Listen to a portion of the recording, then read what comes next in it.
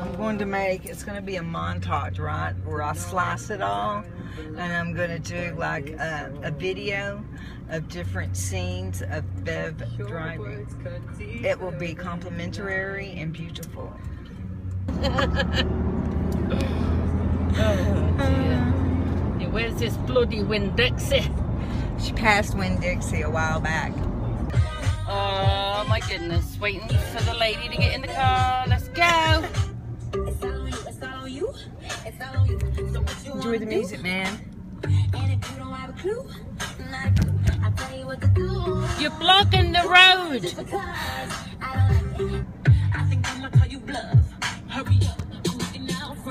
Come on, mister, get out. Bev was very brave. I brought her. Up. She was very brave. They electrocuted her. It was horrifying. They stuck needles. Um, but you know, it's going to help her mental condition. All that electrical shock and. Move it up. Come on, you're on the path. That's why it's taking you so long. Yeah, So I one, I wonder about that finger though that you couldn't. Mhm. If it would have been the middle finger, I would have understood why you were having problems. I mean, because you use that all the time. But this one, well, maybe it's from saying, "Come here, come here, come here."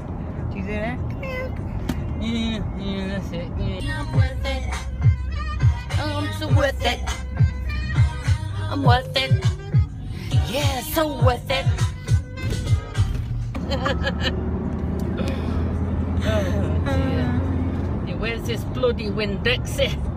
She passed Winn-Dixie a while back. Then they did her bottom today Yep. of her legs. And I was kind of agitating her because I was making the doctors laugh. Yeah, which continued to shock me a long time because Whenever he said, uh, what's that, a rose? Does it stand for anything? And you didn't say, yeah, fucking flower. No, you didn't.